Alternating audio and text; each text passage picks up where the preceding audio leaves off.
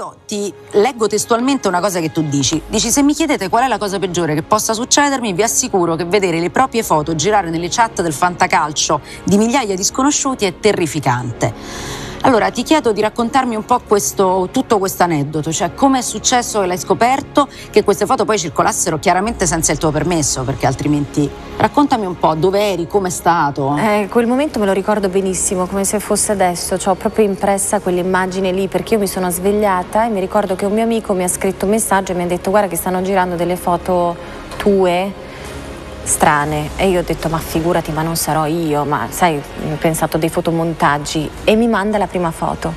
Quando mi ha mandato la prima foto ho sentito un vuoto dentro e mi si è bloccato il respiro credo forse per più di dieci minuti, non riuscivo proprio a respirare, è stato un momento tragico. E, e, ancora adesso quando ci ripenso dico non so come ho fatto a superarlo.